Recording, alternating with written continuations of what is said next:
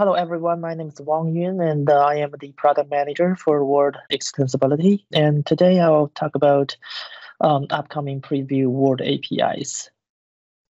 So in March, uh, we will release several sets of APIs, and I will uh, quickly go through each API set quickly today.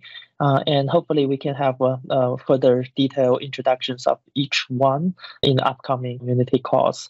Uh, but today I will quickly go through those. And the, the, the first one is the uh, new insert file from base, base 64 A- API. So if you have ever used this uh, API previously, we already have insert file from base 64 at the body level in the past. So the, the past behavior is that uh, you know user uh, users can leverage this API to insert the content from a document into the uh, the current document that the user is working on.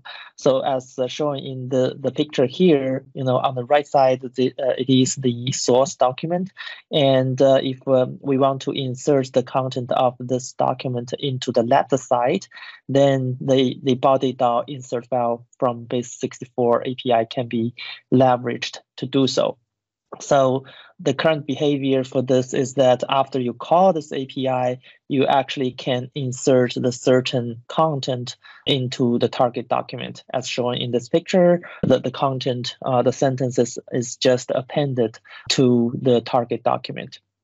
So this this is the existing behavior, and this is the uh, the um, API at the body level.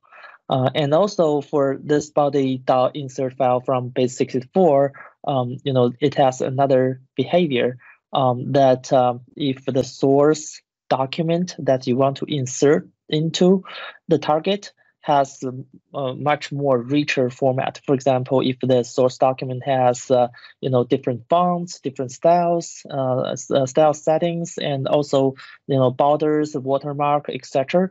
When the user tries to leverage the API to insert these things into the target, it will fail to uh, the fail means that you know only the text content will be inserted into the target document, but uh, what are loose um, those watermarks, header, footer, or page border and stylings are all lost during this uh, process.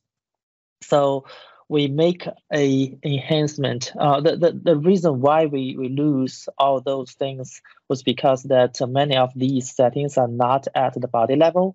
Uh, they actually are at the, at the, section level, level or the document level. So that's the reason why we introduce a new API with the same name at document level. So document object will have uh, a new API uh, with exactly the same name. The purpose here is that once the user wants to insert a source document into the target, then we want to retain as many things as possible.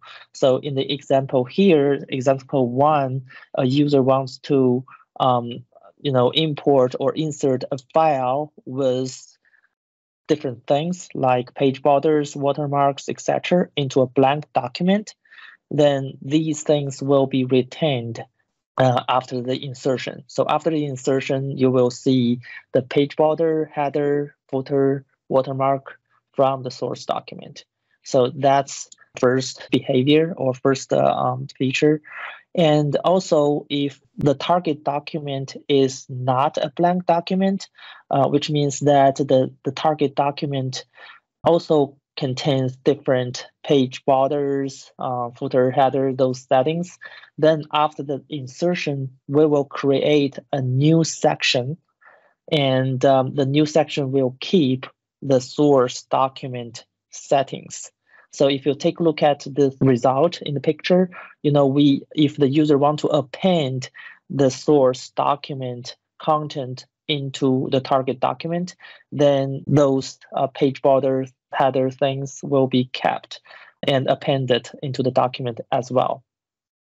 So this is um, uh, another enhancement we do for this new API. And also, instead of uh, keeping these content level things, we all uh, we also um, select several document level settings to give the user the choice to uh, to see whether you want to retain these settings or not when doing the insert file from base 64.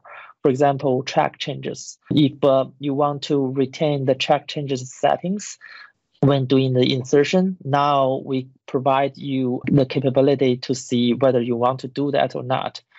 Also, uh, it is the case for the style uh, settings. For example, in this example here, um, the source document has a style setting.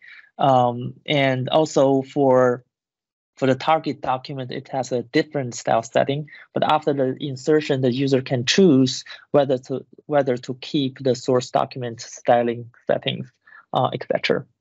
So this is the uh, the new enhancement we do for this API. Uh, and just note, be noted that you know the original insert file from base64 API at the body level continue work uh, working as previously.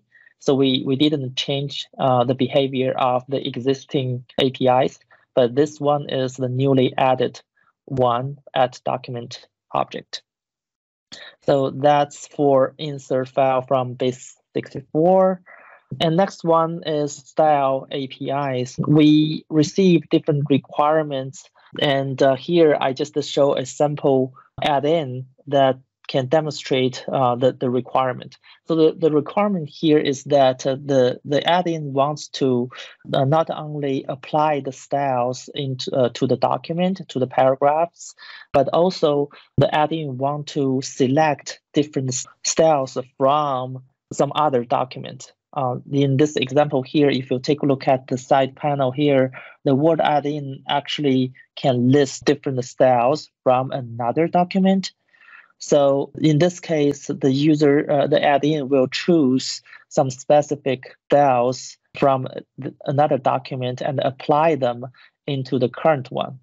So if you take a look at this picture, you know the side, uh, the, the left panel, uh, the task pane actually shows the the styles from another document, and after the user click one of the styles, and this style will be applied to the current document, and also the users can choose whether to apply these styles into the style gallery or not. So we have a set of APIs to support this scenario. So basically, there are two major capabilities here. Uh, one, one is that we can retrieve and pass the styles from a base 64 format of a Word document. So this Word document can be another document, or it also can be the current document that you are working on. So once the base 64 format is there and you can retrieve and pass uh, different style settings and retrieve different types of the styles, including the used styles in the source document or the customized styles that created in the source document. And after you retrieve all types of the styles from the source, then you can have another API to apply these styles to your current Word document so that it, it will have the, the, the user not only say, hey, I want to choose some specific fonts to form a style, then you know the add-in now can be that uh, you know uh, I can select some specific look and feel from another document and uh, apply that look and feel into my current document. So that's that is the basic working flow. And next that is the, the save close APIs. So for save and close, now we provide two APIs so that you can save an existing document or you can save a new document. Um, so there are different cases whether you need uh, the the prompting dialog is needed uh, in order to specify a file name. And for close APIs, we also provide the support for new document and existing document. But for close API, uh, the current behavior is that once you choose to call it, after you finish the calling for the close API, the add-in will disappear and you don't have the, the control of the add-in anymore. So this is the current behavior of the Office add-in. But uh, in the future, we could have some enhancement there. But today, you, you will lose the control there. And the next set is Fields API. I know many of our partners asked for this for years, uh, actually.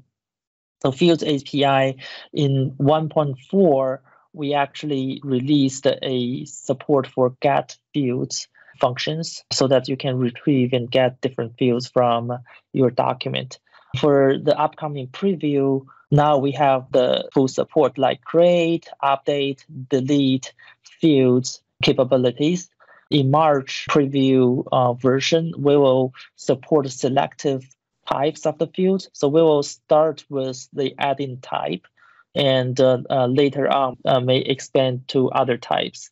So in March version, you could see one, two, or three types of the fields there to have a try.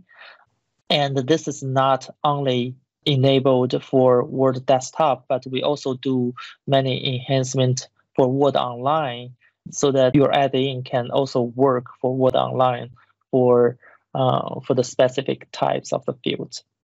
Content control event APIs. You may already know that we have different content control events APIs in the preview already but we added two recently. Uh, so one is enter a content control and exit a content control. Again, not only API, but also the Word Online capabilities was uh, was enhanced.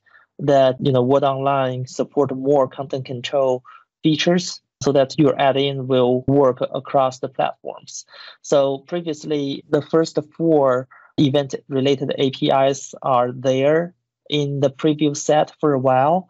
Uh, we are expecting to have all these six APIs moving into GA state in the middle of this year.